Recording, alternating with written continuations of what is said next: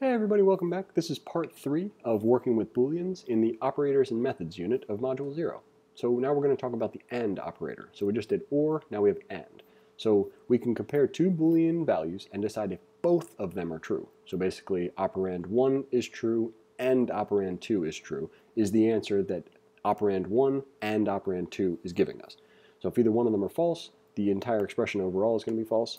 Let's have a quick look at the console.log truth table, which is going to tell us true for the first one because they are both true, and false for all the rest of them because at least one of them is false.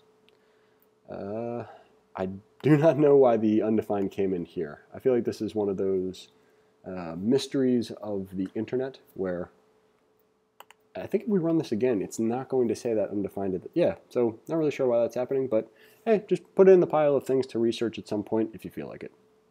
Actually, don't put that in a pile of things to research because it's likely just an error and not really worth any sort of uh, in-depth explanation.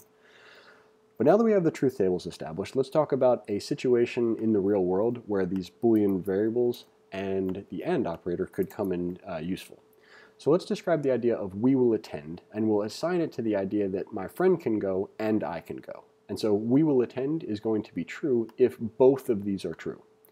So if we set up the idea that my friend can go and I can go, then if we run this, the message logged to the console is going to be both my friend and I will go true. Which it is. So let's change this to say that now my friend cannot go, but I still can go. And the answer to will we attend is no, because I do not want to go without my friend. And we could invert these. Now my friend can go, but now I can't go. But since my friend is cool and he remembers or she remembers that I didn't go when they couldn't go, they are also going to stand in solidarity with me and not go. If neither one of us can go, well, that's pretty much a, a wrap. Neither one of us are going to go because neither one of us can go. Yeah, so we're in good shape. Also, I've decided I'm probably going to return to saying we're in good shape because I don't like the offshoots of it very much, and it's a habit. So we're going to complete a function that takes in two Boolean parameters. Your function should create a variable and assign it to the result of comparing the two input parameters using the AND operator, then return that variable. And by return that variable, they mean the variable you create and assign to the result. Below are examples of the code running, assuming that you will have completed the described function, both are true. So let's grab the stub of the function. We'll paste that in here and then we'll grab two test cases, which when we run the code will show us whether we've done the problem at least semi-correctly.